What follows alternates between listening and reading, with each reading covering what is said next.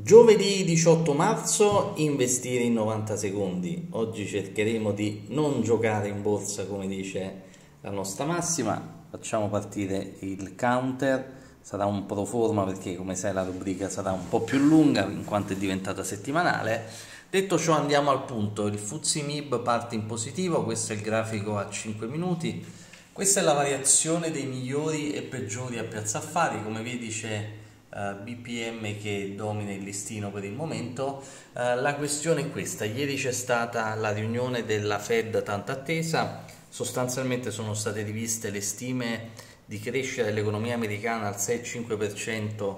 per il 2021 dal 4,5% e l'impressione che Powell nonostante eh, i dati che evidenziano una crescita eh, prospetti dell'economia, una diminuzione della, della, disoccupazione e quant'altro e quindi un'inflazione incipiente abbia fatto di tutto per eh, rassicurare gli operatori che tutto sarà sotto controllo, che un'eventuale iperinflazione sarà assolutamente temporanea e quindi un power super colomba per, eh, che ha provato a rassicurare i mercati che hanno reagito in positivo ma oggi si, si vede che sul treasury, sul decennale a 10 anni americani siamo nuovamente sui massimi e quindi il mercato diciamo, si fida relativamente, è tornato l'interesse per eh, il mercato obbligazionario, tra l'altro anche in Europa si vedono i primi accenni di, di ritorno, di, di acquisti anche sui governativi e quindi questo sarà un po' il tema. Eh, mi ha molto sorpreso insomma un Powell così colombo in tutti i modi ha cercato di rassicurare i mercati e francamente è la prima volta che si vede così ben disposto rispetto a, alle parole che volevano ascoltare gli operatori. Detto ciò, i temi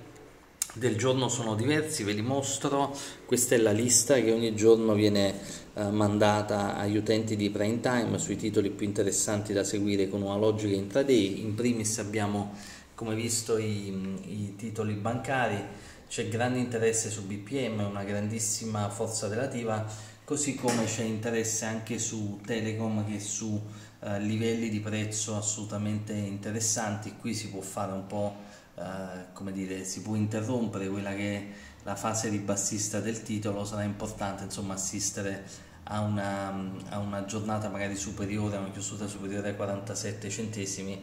per dire che il peggio è alle spalle. Interessante anche la questione autostrade, si va definendo se eh, piano piano si tornerà alla normalizzazione delle attività, chiaramente tornerà eh, il traffico sul, sulle autostrade, così come torneranno un po' tutti i consumi ciclici. Abbiamo anche Snam da seguire, ha dato i, i risultati e quindi anche storia interessante per vedere la reazione degli, degli operatori. Insomma, ancora una volta ci aspetta una giornata eh, bella, interessante, eh, ricca di spunti operativi. Io ti auguro buona giornata e a presto.